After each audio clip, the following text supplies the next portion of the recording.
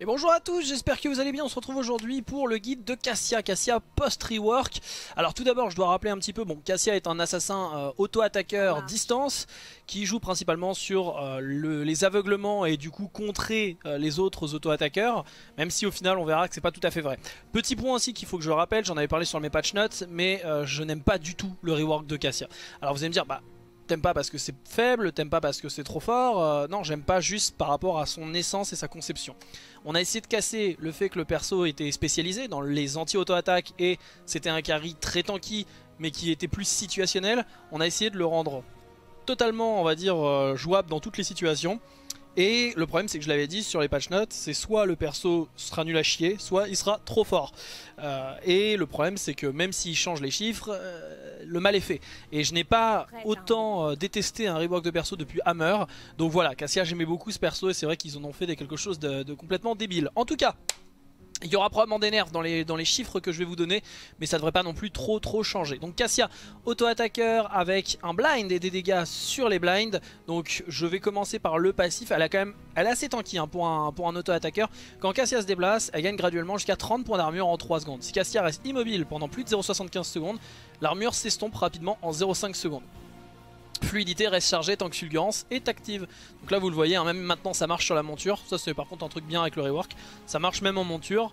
Mais l'idée c'est que voilà, vous êtes à pied, et eh bien vous gagnez de l'armure. Et si je m'arrête, et eh bien je perds mon armure, vous voyez, euh, je perds mon armure si je suis bloqué. Donc déjà, un premier point, tout ce qui est contrôle root stun est très intéressant contre Cassia, puisque ça va l'immobiliser et elle va perdre son armure, donc sa tankiness. Donc les root et stun sont très efficaces contre Cassia.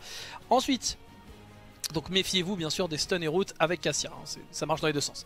On a le javelot foudroyant qui est l'outil de poke principal de Cassia, 5 secondes de temps de recharge, on a deux euh, charges de A, projette un javelot de foot qui inflige 362 points de dégâts au premier ennemi touché, puis qui se scinde en deux éclairs qui affligent chacun 362 points de dégâts aux ennemis sur leur trajectoire. Qu'est-ce qu'il faut mieux comprendre?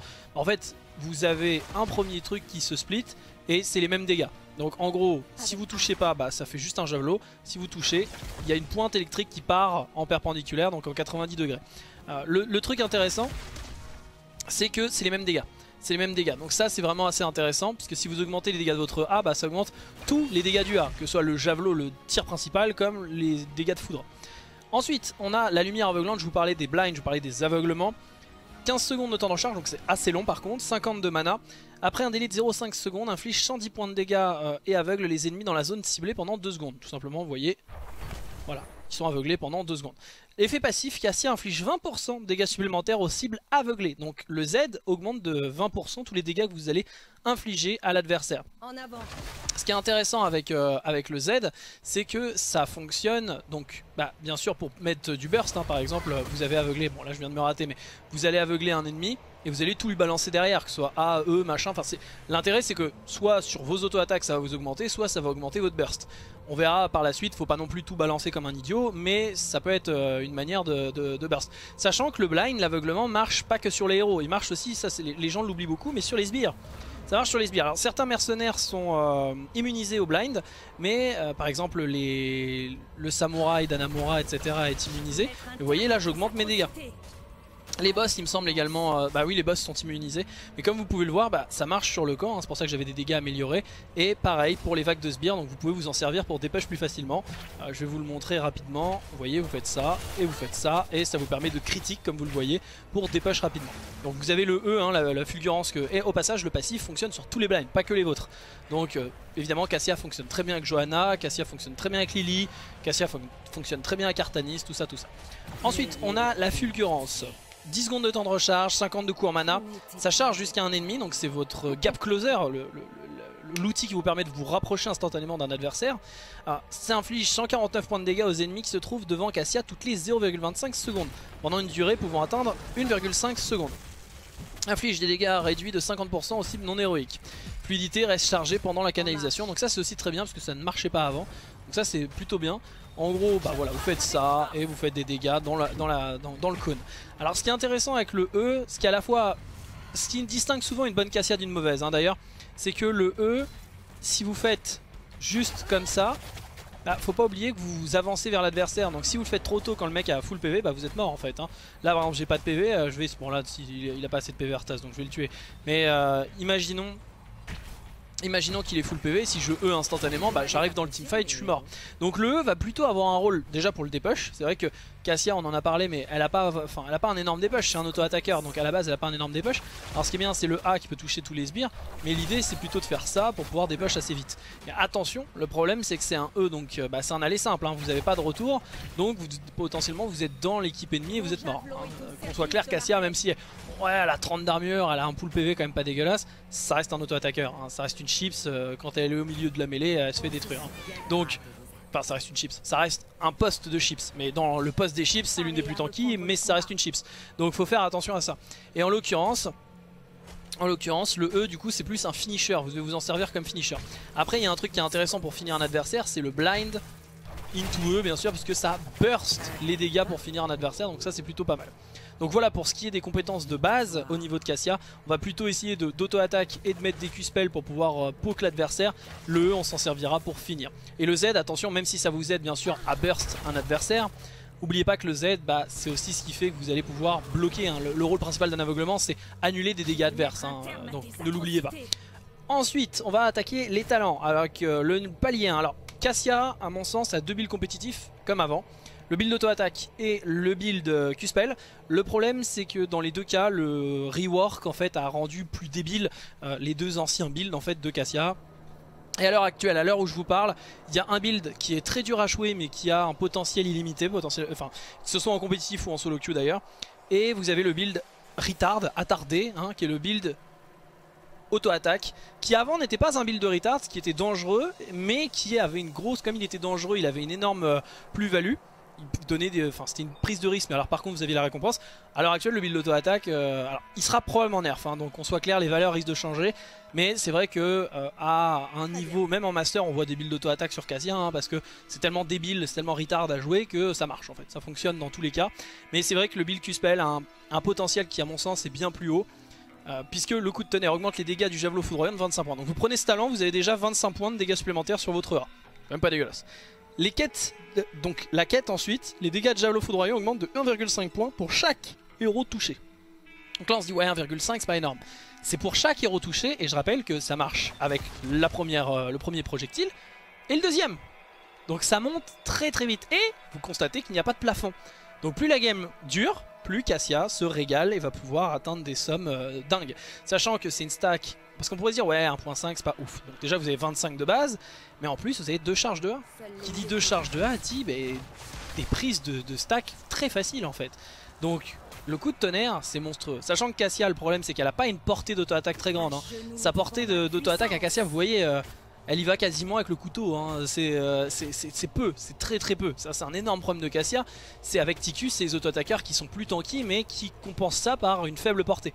Donc, avoir un peu plus de poke pour pouvoir travailler au corps le temps que vous puissiez être en place pour pouvoir auto-attaque, bah c'est fort, c'est vraiment fort. Ensuite on a les frappes survoltées, donc c'était l'ancien très très bon niveau 1 de Cassia mais qu'ils ont complètement changé en faisant un passif, donc aucun skill. Augmente la vitesse d'attaque de 20%, donc ça c'est en passif. Toutes les trois attaques de base, Cassia inflige 20% de dégâts supplémentaires et rebondit sur les héros adverses euh, proches. Donc avant il n'y avait pas d'augmentation de dégâts sur les frappes survoltées, par contre vous contrôliez et chaque auto faisait des dégâts supplémentaires. Le principe c'est quoi? En gros, vous avez votre auto-attaque, la troisième va faire des dégâts de foudre autour de vous. Euh, cette auto-attaque fonctionne sur les sbires, c'est pas marqué dans l'infobule, mais par exemple ça marche sur les sbires comme vous le voyez, là ça a touché le héros qui était à côté. Par contre ça ne fonctionne pas avec les bâtiments. Euh, ce qui c'est un truc qu'ils ont réglé il y a longtemps. Ah si ça marche maintenant du coup sérieux Ok, bah, c'est qu'ils l'avaient changé avant mais avec le rework ils l'ont. Bah, bah, je viens d'apprendre un truc. Hein. Euh, ça remarche avec euh, ça remarche avec, les bâtiments. Bah du coup c'est très fort. Hein. Ça, ça marchait pas. Il y avait désactivé parce que c'était trop fort. Après la différence c'est qu'avant les frappes survoltées bah, vous pouviez lancer une dizaine d'auto-attaques et ça, marche, ça marchait sur chaque auto donc c'était très très très très fort. Euh, évidemment, les dégâts, faut bien penser que les dégâts, les 20% de dégâts fonctionnent sur tous les types de dégâts, donc que ce soit des dégâts d'auto-attaque ou magique, donc ça marche sur les frappes survoltées, bien entendu. Le Z marche sur les frappes survoltées. La différence, c'est que bah, c'est toutes les trois autos, donc euh, le blind dure 2 secondes, vous n'aurez pas forcément le temps de le faire proc énormément, contrairement à l'ancienne Cassie. Euh, enfin, nous avons la cruauté, un talent que j'aimais beaucoup qui est au niveau 7. Ils ont fusionné plusieurs talents poubelles du E pour en faire quelque chose d'assez sexy, ils l'ont mis au niveau 1 pour vous dire à quel point avant c'était buff.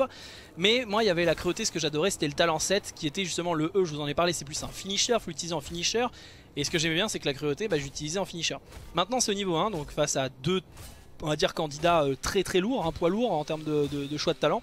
Cruauté, donc le build E, le problème du build E de Cassia, comme je vous ai vous dire, bah, tu parles d'auto-attaque Q-Spell, pourquoi le build E est nul? En fait le build E est nul, pourquoi? Parce que bah, ouais il y, a des dégâts qui, sont, qui ont l'air incroyables, et en plus c'est l'outil de dépush, si c'est l'outil de dépush ça semble vraiment bien. En fait le problème c'est que ça marche pas comme ça. C'est le truc qui fait que vous devez être au corps à corps pour faire des dégâts. Comme je vous l'ai dit, si vous arrivez au début d'un fight en faisant un E, normalement vous êtes mort. Hein. Donc euh, en tout cas c'est pas vous qui jouez bien quoi. Donc euh, le problème c'est ça.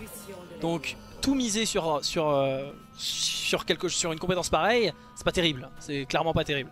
Donc le souci il est là avec, avec le build E. Donc évidemment, l'anneau, enfin la cruauté, c'est un finisher, tout ça c'est bien, mais il y a une concurrence qui est terrible. Et donc le E augmente la portée, la zone d'effet de fulgurance de 25%, donc ça c'est deux anciens, c'était 13-16. Euh, elle inflige 50% de dégâts supplémentaires aux ennemis disposant de moins de 50% de leur maximum de points de vie. Donc ça c'était l'ancien talent 7.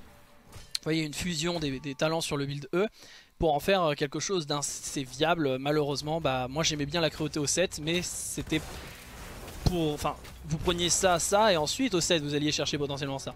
Donc c'est pas, c'est pas, c'est pas, pas dingue. Le, build E, encore une fois, c'est, enfin, ça marche pas parce que c'est un finisher. Quoi. Le E, faut vraiment l'utiliser pour finir un adversaire. Niveau 4, c'est le palier sustain, le palier euh, défensif de euh, Cassia. Vous avez l'ancien talent bien sûr Anneau de la qui était le god talent sur, euh, sur Cassia qui nul à chier tant qu'ils le réaugmenteront pas bah c'est pas terrible hein, puisque stack de base contre votre cible principale rend un montant de points de vie équivalent à 15% de leurs dégâts si un ennemi est aveuglé, cela affecte également Javelot Foudroyant et Fulgurance. Donc la sustain n'est que sur les auto-attaques et c'est 15%. Et si jamais l'ennemi est aveuglé, ça va s'appliquer sur votre A et votre E. Ça ne s'appliquera même pas euh, sur le D ou sur les autres, euh, les autres types de dégâts. Donc c'est vraiment pas terrible. On va faire un, petit rapport. L'ancien anneau de l'ascension, ils vont, ils vont probablement l'augmenter les valeurs, mais malgré tout, le talent est pas terrible puisque avant c'était que sur les blinds. Mais par contre, vous vous soignez avec un montant excellent. Donc, c'est pas forcément folichon. Et le pire, c'est que je suis sûr que Blizzard s'est dit ça va être pas mal parce que maintenant ça marchera pas que sur les blinds. Mais en fait, l'intérêt, c'est peut-être qu'avant vous aviez pas tout le temps de la sustain. Par contre, quand vous en aviez besoin, donc quand vous claquiez le Z, vous avez une sustain à toute épreuve puisque ça marchait. Donc c'était pas 15%, mais du coup c'était 25% de sustain, c'est quand même énorme. Et ça marchait sur la surtension, ça marchait sur le A, ça marchait sur le E, et ça marche même sur son propre Z en fait. Et les auto-attaques bien sûr. Là le problème c'est que ça ne marche que sur les autos. Et c'est que 15% des, dégâts, donc c'est vraiment pas grand chose. Et si jamais le mec est blind, là ça va marcher, mais le montant, le burst style est plus du tout le même. Donc je pense qu'ils vont l'augmenter et c'est pas forcément dingue. Euh, je suis pas, je suis pas extrêmement fan puisque ça marche pas avec par exemple les ultimes. Avant vous pouviez vous soigner avec les ultimes, euh, tous les autres en fait, toutes les sources de dégâts. Maintenant c'est plus le cas. Donc l'anneau de la sensu c'est vraiment pas terrible à l'heure actuelle. Vous avez deux paliers par contre, enfin vous avez deux talents par contre qui sont très bons. Vous avez l'armure de la baleine qui a été énormément up, rend 16 points de vie par seconde tant que la fluidité est active. Sachant que la fluidité est active, on a amélioré la fluidité, elle marche en monture, elle ne se casse pas au moindre root stun, c'est plus elle va se casser, mais elle avance à se casser direct. Donc forcément, on a amélioré, on va dire, le, passif. On a amélioré la fluidité de base. Donc ça, c'est plutôt, euh, plutôt intéressant. Et avant, c'était 5 points de vie par seconde, l'armure de la baleine. Maintenant, c'est 16 points de vie par seconde. Euh, tant que la fluidité est active, si elle est chargée au maximum, ça rend 32 points de vie supplémentaires par seconde. Donc c'est assez... Bon là les valeurs sont au niveau 20 hein, euh, bien sûr, mais ce qui est super intéressant c'est que si vous êtes au maximum de fluidité, ça double, ça double les, montants, donc c'est vraiment vraiment vraiment pas mal à ce niveau-là. Donc l'armure de la baleine, très facile à utiliser, hein. vous avez juste à marcher en fait, vous avez juste à hit and run. Hit run bien sûr super important sur Cassia, puisque tant que vous restez en déplacement, eh bien vous gardez vos montants d'armure. Si vous vous arrêtez, bah, vous perdez vos bonus d'armure. Donc le hit run est important sur tous les auto-attaqueurs, mais avec Cassia encore plus évidemment. Du coup l'armure de la baleine, bah faut vraiment bien maîtriser ça. Mais il n'y a rien, sinon c'est très facile à jouer, c'est débile. Ensuite on a la radiance, temps de recharge 70 secondes, rend 25% du maximum de points de vie en 5 secondes. Les héros adverses touchés par le javelot foudroyant réduisent le temps de recharge de cette capacité de 10 secondes. C'est fort Parce que, euh, contrairement à l'armure de la baleine où si jamais vous êtes route, bah vous n'avez pas de soin, le moment où vous avez vraiment besoin de sustain, la radiance est là. Avant, en fait, ça remplace un petit peu l'anneau de la sensu, ça pallie à l'anneau de la sensu qui avant était dans le moment où vous aviez besoin de soins immédiatement. Là, je suis dans la merde, il faut que j'ai de la sustain. Et eh bien maintenant c'est la radiance sur laquelle vous pouvez compter, pas l'anneau de la sensu. Donc la radiance, ce qui est bien c'est... Le CD on pourrait dire il est long, 70 secondes. Mais 10 secondes par Q-Spell hein. 10 secondes par Q-Spell, euh, c'est... Vous voyez, je, claque, je le claque. Voilà, j'ai déjà 40 secondes là, quasiment. Et le A, euh, c'est toutes les 5 secondes, ça revient. Sachant que là, c'est une cible principale. J'ai touché un seul héros. Faut pas oublier que vous avez le, rebond aussi qui fonctionne. Donc vous voyez, je, peux atteindre des valeurs très rapides. Et ce qui est bien, c'est que je suis hors teamfight, j'ai besoin d'aller sur un boss, etc. Bah c'est pas grave, je le claque. Je suis en teamfight, j'ai besoin d'aide, euh, mon support est mort ou quoi que ce soit, je suis autonome en termes de sustain. Que ce soit en PvE, PvP, sur un corps, etc. C'est pour ça que j'adore la Radiance personnellement. Je conseille la Radiance, je pense que l'armure de la baleine sera nerf parce que c'est très fort l'armure de la baleine et ça demande aucun skill. Euh, la Radiance, moi j'aime énormément. Et là où nous la sensu c'est pas terrible. Niveau 7, euh, alors palier qui avant était très très fort sur Cassia. Puisque c'était, il y avait une grosse concurrence entre la surtension et la cruauté. Maintenant que la cruauté n'est plus au 7, eh bien, euh, bien sûr, il faut vous présenter la surtension. Or, il y a un changement qui a été fait sur la surtension avec le rework de Cassia. La surtension sera nerf, ça c'est 100%, je peux vous le parier, je peux vous l'affirmer. Puisque c'était le meilleur talent de Cassia déjà avant l'ancien rework. Et avec le rework, ils ont augmenté les valeurs de la surtension de 40%. Je sais pas ce qui leur est passé par la tête à ce moment-là. Ils se sont dit oui les deux autres sont très très forts, ça a trop concurrencé la surtension. Non, c'est trop fort la surtension, c'est complètement débile. Le perso est broken à cause de ça. Hein. Euh, donc surtension, faut juste penser que maintenant la fluidité est activable. La surtension, une fois que 1140 points de dégâts sont subis, alors que fluidité est active, donc pendant que vous bougez, ça va charger votre surtension. Cassia peut activer la fluidité, donc le D, pour faire péter et ça inflige donc au niveau 22 ça inflige 684 points de dégâts aux ennemis autour d'elle. 684 points de dégâts aux, ennemis autour d'elle. Euh, pour vous donner une petite idée c'est le Z d'Orphea sauf que la surtension de Cassia qu'on soit clair la surtension de Cassia vous voyez ça charge, ça charge assez vite en plus hein. la surtension de Cassia en fait c'est autour d'elle vous voyez c'est autour de moi. Vous avez vu la portée c'est quand même assez énorme. La différence c'est qu'Orphea c'est déjà c'est moins, moins loin et c'est que en arc de cercle, c'est devant elle. Alors c'est peut-être la même, à peu près la même portée. Euh, le, Non, bah non, non, ça va plus loin que le set de, de, je suis quasiment persuadé. Et de toute façon, ça touche tout autour d'elle. Du coup, si je fais péter, par exemple, ça, ça explose, ça fait très mal. Sachant que potentiellement en teamfight, vous pouvez l'avoir 3, 4, 5 fois.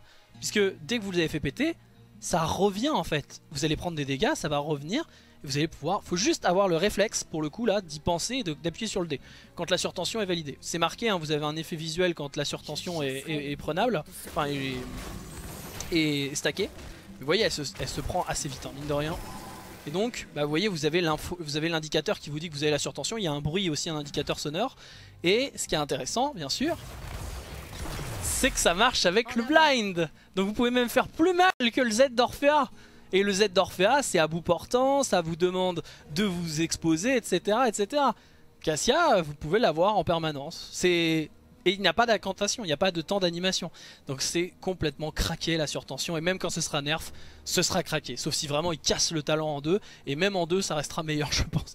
Euh, ensuite, on anime séraphique. Les attaques de base contre votre héros adverse, enfin contre le, héros adverse principal, donnent 10 points de mana et réduisent le temps de recharge de lumière aveuglante de 1,5 secondes.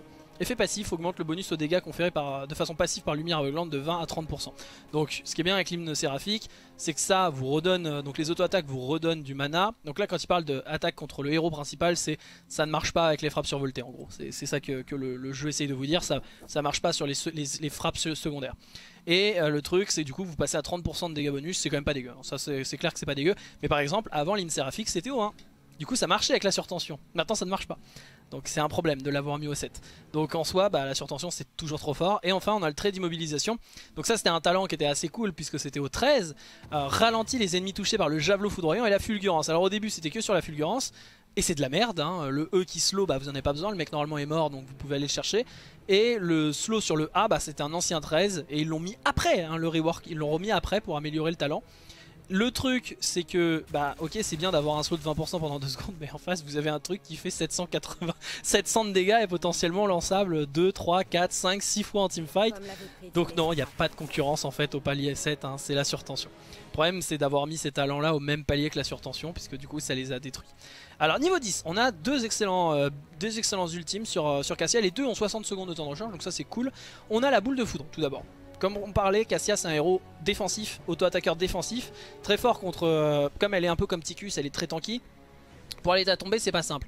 Donc vous avez la boule de foudre qui marche, si un mec vous vient dessus ou que vous avez des, gros tanks qui vous rentrent dedans ou en zone et autres, eh bien vous avez la boule de foudre, vous lancez la boule de foudre, elle rebondit entre les ennemis, c'est très intéressant. L'autre point bien sûr, euh, et ça marche avec bien sûr le blind, mais ça ne marche plus avec l'anneau de la censure, je le rappelle. Mais ça marche avec le blind. L'autre point euh, de la boule de foot, c'est qu'elle peut rebondir sur vous. C'est-à-dire vous pouvez vous en servir pour faire rebondir. Ah oui mais ça marche, ça marche pas, il faut que je le fasse là. Vous voyez, vous pouvez vous en servir pour le faire proc. Alors le problème c'est que si vous vous éloignez de trop, vous voyez si je m'éloigne de trop, bah, elle rebondira pas. Donc faut faire attention, il faut quand même maintenir le mec à portée pour que ça fonctionne. Mais c'est vraiment pas mal à ce niveau là, hein, clairement. Donc la boule de foudre est vraiment vraiment pas mal. Et ensuite on a la Valkyrie. La Valkyrie, la Valkyrie c'est tout simplement euh, quelque chose de plutôt fort puisque ça c'est plutôt justement quand euh, vous avez un manque d'engage, par exemple vous êtes un gars garoche qui va avoir des difficultés pour aller attraper l'adversaire ou autre, eh bien la Valkyrie va vous aider à cela. Et vous êtes par exemple, vous avez besoin d'attraper des gens, eh bien vous avez la Valkyrie. Alors le temps d'animation est un petit peu long donc faut le sentir, mais vous allez ramener l'adversaire sur vous dans votre équipe par exemple avec un Garrosh c'est très très très très fort. Évidemment puisqu'il va avoir des soucis pour trouver des engages parfois donc vous allez l'aider. Et euh, si par exemple en face il y a beaucoup de magiques euh, enfin beaucoup, de, beaucoup de, héros qui vont rester à distance bah, ça peut permettre de faire les plays. Attention un problème avec la Valkyrie. Donc la Valkyrie 60 secondes de temps de recharge, invoque une Valkyrie qui se rue vers la position après 0.75, donc ça ce que je dis c'est un petit peu long. La Valkyrie entraîne le premier héros adverse touché jusqu'à Cassia et lui inflige 500 points de dégâts et l'étourdit pendant 0.5 secondes. Elle repousse en outre tous les autres héros adverses rencontrés sur sa trajectoire. Le problème de la Valkyrie, c'est le décor. C'est un énorme problème pour la Valkyrie. Si par exemple... Ah bah il bouge, il bouge un petit peu trop. Ah, mais par exemple... Et il a décidé de m'emmerder. il a vraiment décidé de m'emmerder Arthas. Mais le problème en fait... Ah oui, il est pas... Il me troll Arthas. Il me troll. En fait le problème c'est que le décor, si jamais... En fait c'est considéré comme un bump. Et comme tous les bumps, en fait ça va avec le décor potentiellement faire bugger la... Enfin, c'est prévu par le jeu, hein, euh, ce genre de, problème de collision. C'est-à-dire que si vous faites par exemple sur, euh, sur l'adversaire là... Ah, il est pas assez près du mur. Là peut-être que ça va le faire. Ouais, ça l'a pas fait. Allez viens Arthas, parce que j'ai besoin de toi du coup. Il me troll vraiment, hein, c'est pas possible. Là peut-être. Non, pas du tout. Ah il s'en fout, il s'en fout, il a, décidé de niquer mon guide, ok c'est pas grave Mais du coup le problème de la Valkyrie c'est qu'en fait si vous attrapez un gars par exemple près du mur, ici Et eh bien l'adversaire sera, vous voyez, bloqué ici là Vous voyez mon, curseur eh bien il sera bloqué ici En fait, il va se bloquer ici, vous pouvez pas le faire traverser le décor et ça c'est un énorme problème autre point, des fois, ça bug. C'est un problème qui existe depuis euh, la sortie. C'est vous faites, vous appuyez sur euh, la Valkyrie, ici par exemple, droit. Et il y a un mur qui est pas trop loin, mais normalement il devrait pas rentrer en conflit avec le mur. Et il va rentrer en conflit avec le mur, du coup il va s'arrêter sur la trajectoire. Ça c'est très très frustrant et c'est un énorme problème pour la Valkyrie. Mais euh, aussi, il, me troll, hein, Arthas, il me troll. Et du coup, eh bien c'est un problème étant donné que le décor, quand, vous êtes contre une Valkyrie, vous savez que vous allez vous faire avoir, potentiellement jouer avec le décor. Euh, encore une fois je le dis, mais même vous coller avec le décor, ça va potentiellement stopper la Valkyrie. Vous mettez là par exemple. Allez, vas-y, vas-y, vas-y. Ah bah non, euh, il, me bloque. Mais du coup la Valkyrie, eh, peut-être vous voyez, là ça l'a bloqué ici. Ça l'a bloqué ici au lieu de le ramener là, ça l'a bloqué contre le, contre le mur. Donc c'est ça que vous pouvez, euh, vous pouvez infliger. Donc Valkyrie, pas mal pour faire les plays, pour forcer les teamfights. Là où la boule de foot, c'est vraiment... Euh, vous êtes dans une zone Sanctuaires Inferno, Volskaya, vous appuyez sur le R au milieu de tout le monde et vous allez tuer tous.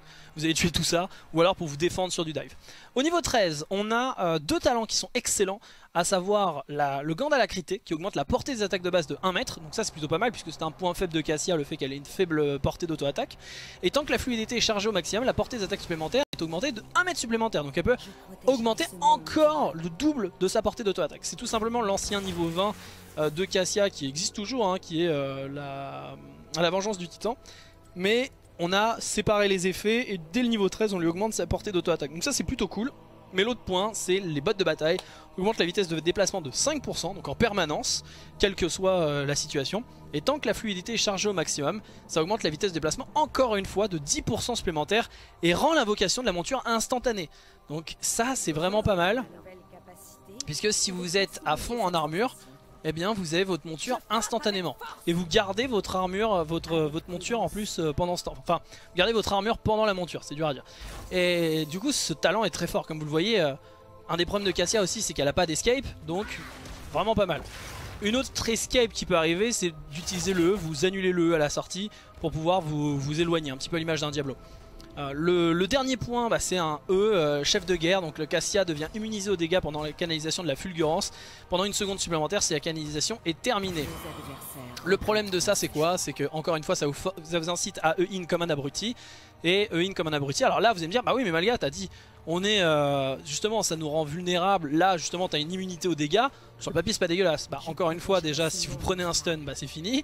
Et euh, le problème enfin si vous avez une immunité euh, une seconde après mais le problème c'est que le mal est fait. Pourquoi Stitchy c'est un tank qui est pas forcément terrible? Pourtant il a des milliards de PV mais quand il est dans le mal il est dans le mal hein, il pourra pas sortir. Bah c'est un peu pareil en fait. Donc c'est bien beau l'immunité aux dégâts mais vous êtes hors de position. Vous allez mourir une fois que l'immunité aux dégâts sera terminée.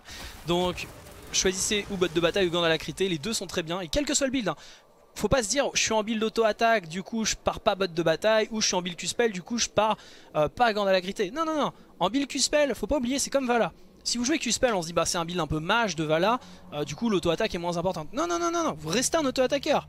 Donc même si vous jouez en Q-build, augmentez votre portée justement, ça vous donne un build vraiment le plus safe, le plus loin possible. Et en auto-attaque, bah même s'il y a des talents sur l'auto-attaque ici, les bots de bataille vous permettent aussi de faciliter vos auto-attaques. Donc là c'est vraiment en fonction de vous, en fonction de la compo ennemie et autres. Est-ce que vous pouvez auto-attaque plus facilement? Oui, du coup Gandalf crité. Est-ce que c'est plus dur d'auto-attaque? Là peut-être bot de bataille, quel que soit le build. Hein. Donc les deux sont très très forts. Vraiment faut, faut, varier entre les deux. Petite préférence pour... Euh, enfin en vrai je sais pas, les deux sont très, sont très bien. Bot de bataille donne énormément de bonus quand même.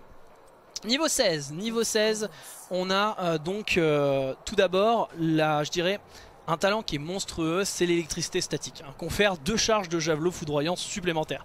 Donc vous passez de deux charges de A à 4 charges de A. À l'impact, Fulgurance lance un éclair en direction de chaque héros adversaire proche. Qu'est-ce que ça veut dire? Eh bien, ça veut dire que vous allez lancer, vous voyez, un A automatique. Enfin, le... Alors, il me semble que ça faisait autre chose. Il me semblait que ça, ça infligeait le... L'impact fulgurance lance un éclair en direction de chaque héros adversaire proche. Alors c'est peut-être qu'ils sont trop loin, c'est possible. Parce qu'il me semblait que ça faisait en fait l'effet des frappes survoltées mais en, loin, en Q-spell. Ah oui non c'est sur l'auto en fait. C'est juste... Non c'est pas sur l'auto. Non c'est pas sur l'auto. Non mais il me semblait qu'il y, avait un, effet de... Alors je sais pas si c'est bugué ou si ils sont un tout petit peu trop loin Parce qu'il me semble que ça fait un effet du niveau 1 Mais en gros sur, euh, sur le Q-Spell Enfin bon, dans tous les cas c'est très très fort juste pour les deux charges supplémentaires hein. Ça vous permet de spammer en permanence le Q-Spell hein. Euh, vous avez euh, la possibilité de balancer la sauce en permanence Donc c'est très fort, plein de dégâts à distance et autres et euh, en plus de ça, bon, il y a le petit bonus bon, là que j'arrive pas à vous faire montrer. Je pense que c'est parce qu'ils sont un tout petit peu trop loin et du coup l'effet ne, se proc pas. Donc vous le voyez par contre, ça veut dire que l'effet est pas très loin, mais ça reste quand même plutôt cool. Ensuite on a la loi martiale, les attaques de base portées aux héros adverses leur infligent un montant de dégâts supplémentaires équivalent à 1% maximum de points de vie, passe à 3% s'ils sont étourdis, immobilisés ou ralentis. Alors la loi martiale c'est un excellent talent, hein, qu'on soit clair, surtout que ça marche sur les dégâts électriques de la frappe survoltée, donc potentiellement en zone, donc la loi martiale est très très forte.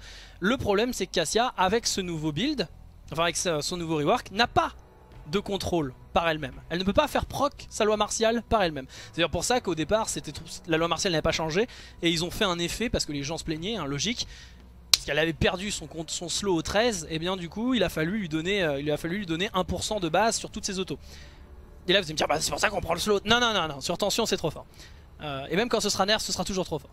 Du coup la loi martiale, bah, le problème c'est que potentiellement vous pouvez pas vous la faire proc.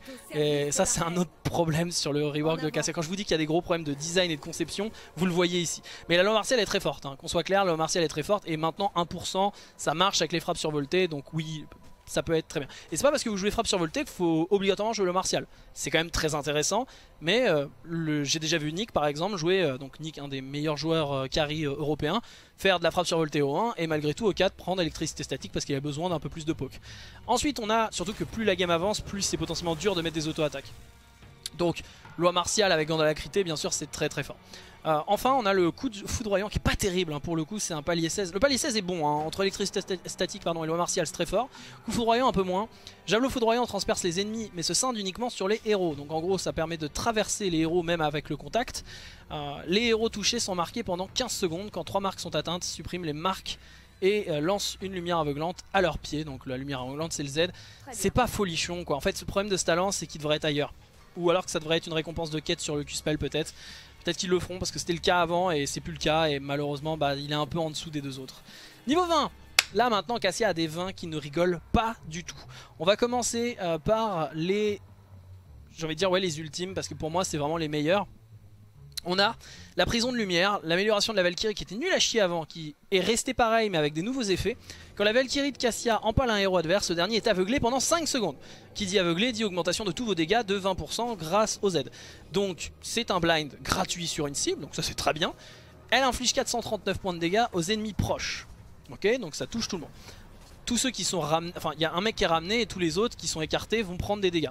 En plus de ça, cette vague les réduit au silence et les immobilise pendant 3 secondes. Donc les mecs qui ont été poussés sont silence, air route pendant 3 secondes. C'est très très très très fort, hein, puisque silence route, ah, globalement c'est quasi un stun. Hein. Le mec peut pas bouger, euh, peut rien, peut pas lancer de sort, il peut juste auto-attaque. Donc c'est quasiment un stun, c'est très très fort. Donc vraiment excellent si vous arrivez à mettre des belles euh, Valkyries au milieu de plein de monde, c'est vrai que c'est très très fort. Foudre infinie. Boule de foudre rebondit indéfiniment. Chaque rebond réduit son temps de recharge de 5 secondes. Donc ça marche excellemment bien, hein. ça force les ennemis à se split et autres. Sachant que vous, vous, avez, vous êtes, servez toujours de catalyseur potentiellement pour faire en sorte que la boule continue en permanence sur le mec qui vous dive. Genre Arthas qui vous vient dessus, bah la foudre infinie, euh, bah bah Arthas quoi, parce que c'est pas possible, il peut pas vous, vous protéger. Donc, et en plus de ça, quand les ennemis enfin se séparent pour éviter que la, la foudre euh, continue de se propager, bah ça, réduit votre temps de recharge de, foudre infinie. Donc vous en avez une nouvelle bientôt. Et potentiellement vous pouvez avoir... Ça peut arriver hein, parce qu'ils ont... Ils ont augmenté en plus le gain de réduction de temps de recharge. Donc potentiellement vous pouvez avoir deux boules dans un teamfight. C'est dur à faire mais potentiellement vous pouvez avoir deux boules dans un même teamfight. C'est dur mais c'est fort. Ah, donc la foudre infinie c'est très très fort. Qu'on soit clair les deux améliorations d'ultime sont très fortes. Mais ça c'est des choix offensifs. On a un choix défensif, le bloc rock, très très bon talent. Temps de recharge 30 secondes, donc vous l'avez quasiment tout le temps. Charge fluidité au maximum, donc instantanément ça vous donne votre gain maximum de charge de fluidité. Et ça augmente la valeur de son armure à 60 pendant 4 secondes. Donc au lieu d'avoir euh, les 30 d'armure, eh bien vous montez à 60 d'armure pendant 3 secondes. C'est très très fort. Le problème, c'est que s'il y a un stun ou un route, vous perdez votre fluidité instantanément, enfin instantanément, en, en 0,5 secondes. Et du coup, eh bien, vous n'avez plus les 60 d'armure. Donc faut faire attention à ça. Mais le bloc rock peut être monstrueux. Qui vous dit que vous êtes encore en vie, et eh bien dit que vous allez pouvoir infliger toujours plus de dégâts. Donc le bloc rock, très très très très fort et je dirais que c'est le talent générique de Cassia mais les deux améliorations d'ultime sont excellentes. Ensuite on a Vengeance du Titan. Les attaques de base de Cassia ne sont pas affectées par l'armure de ses cibles et tant que la fluidité est chargée au maximum elles infligent 20% de dégâts supplémentaires. Alors le problème c'est que la Vengeance du Titan avant moi c'était mon, mon 20 préféré sur Cassia. Le problème c'est qu'en fait ils ont coupé la moitié des effets pour créer le gant d'Alacrité dont bah, vous n'avez plus que les auto-attaques qui ignorent l'armure. Ce qui est bien hein, déjà, mais vous n'avez pas une augmentation de portée et ça ignore l'armure. Mais il y a, parfois des, games où il y a des mecs qui ont peu d'armure ou pas d'armure. Donc là à ce moment-là, Vengeance moyen. Ce qui est bien, c'est que par contre, si vous avez le maximum de fluidité, là, vos autos font 20% de dégâts supplémentaires cumulables avec les frappes survoltées. Mais Cassia a vu des nerfs sur ses auto-attaques de base, donc c'est vrai que c'est pas dingue. Ils l'ont réup, euh, énormément, mais Cassia, pour justement tout son nouvel arbre de talent, a eu beaucoup de nerfs sur toutes ses, toutes ses compétences en fait, sauf la surtension. Donc, enfin, toutes ses compétences de base et ses dégâts de base et ses stats de base. Donc, c'est vrai que la vengeance du titan, j'aime moins. C'est un très bon vin, hein, mais j'aime un petit peu moins. C'est plus situationnel ou vraiment si vous voulez compléter le build auto. Mais sur un build full auto, je pense que le block rock est meilleur. Euh, sauf si vraiment vous êtes vraiment serein, il n'y a rien qui vous inquiète. Là, ok, vengeance du titan, c'est pas mal. Mais les ults, je trouve, je trouve vraiment l'amélioration des ultimes très très forte d'un point de vue offensif. Donc voilà pour ce qui est euh, de, de Cassia. Petit rappel aussi euh, pour, pour enfin, je l'ai déjà dit, hein, mais pour le wave clear, vous avez à côté de ça, le E peut vous servir comme je l'ai dit d'escape. Attention à bien spammer le E pour l'annuler hein, derrière, sinon c'est compliqué. Gardez un œil toujours sur la surtension et c'est aussi pour ça qu'il faut entendre, il faut mettre les, bruitages parce que ça vous permet de savoir s'il m'attaque là quand vous entendez le piou comme ça là, je fais très mal, très mauvaise imitation. voyez ce bruit là là, ça veut dire que la surtension est chargée, donc vous pouvez lui exploser la tronche. Donc voilà, eux ça sert plutôt de finisher, n'oubliez pas que même s'il y a un mec qui a plus de PV, si vous appuyez sur eux, ça peut être un problème. Après le E peut être lancé très tôt sur une Tracer par exemple pour dissuader, ça peut avoir un effet dissuasif. La Tracer vous fonce dessus, vous appuyez sur eux, elle va vouloir reculer quoi, elle va, reculer très vite. Donc Cassia, personnage euh, qui manque un petit peu de, je dirais, d'intelligence de jeu mais c'est aussi un des, points qui fait que le perso est apprécié par les joueurs. Donc au niveau des talents on a tout d'abord le build que je conseille euh, puisque malgré les nerfs il restera toujours fort grâce à son potentiel en fait c'est le build Q-Spell Cassia sera nerf, hein, c'est sûr, avec euh, le, moment où je vous sors cette vidéo, elle sera nerf. Mais ça sera des valeurs. Euh, du coup, euh, le niveau 4, hop, on va revenir, on va Q-Spell, armure de la baleine pour le moment, même si, je le redis, Radiance très très forte. Niveau 7, sur tension, il n'y a pas de débat, on va jouer la Valkyrie. La 13, on s'en fout, mode de bataille. Niveau 16, électricité statique. Et au 20, on s'en fout, tout, tout, est viable.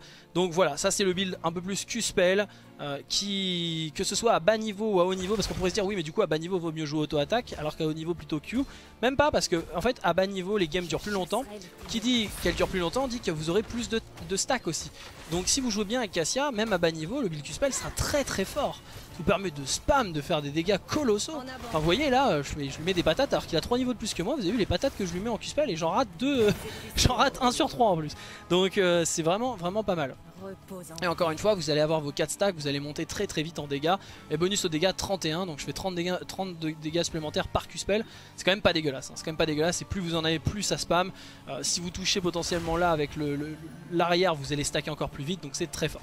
Maintenant le build de retard, hein, le build abruti, euh, mais qui fonctionne, hein, qui fonctionne, c'est euh, le build auto-attaque. Donc encore une fois, très je le redis, mais vous pouvez jouer les deux, pas de problème. Loi martiale et au 20 on s'en fout, j'en prends aucun, hein, là vraiment tout est viable. Et du coup bah, le principe ça va être d'auto-attaque, auto-attaque, auto-attaque. Vous n'avez pas un contrôle sur vos dégâts malheureusement puisque c'est toutes les trois autos, donc euh, bah, parfois vous aurez du contrôle, parfois non. Et le truc c'est que ça fait super mal, hein, ça fait super mal. Mais la clé sur euh, Cassia, hein, si je dois faire un résumé, la clé c'est le D. Maîtrisez la surtension, une fois que vous avez maîtrisé la surtension, vous appuyez sur D dans les teamfights et vous avez gagné le teamfight, hein, globalement c'est un peu comme ça. Donc voilà, pour ce qui est de Cassia, j'espère que cette vidéo vous aura plu, désolé je, suis vraiment pas fan du rework de Cassia. Euh, donc j'espère qu'ils referont un autre rework de Cassia pour essayer de corriger le tir. Mais malheureusement, je pense pas que ça sera euh, le cas avant des années. Donc euh, voilà. en tout cas, le perso sera nerf, c'est assez certain. Euh, mais si c'est juste les valeurs, ce guide sera toujours à jour. Ne vous en faites pas. Plein de bisous, passez une très bonne journée, nuit. Et on se dit à bientôt pour de prochaine vidéo. A plus dans le Nexus.